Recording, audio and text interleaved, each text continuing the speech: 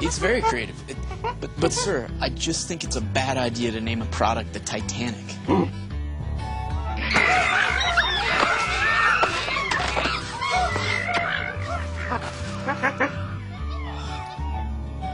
Visit the largest job website, careerbuilder.com. A better job awaits.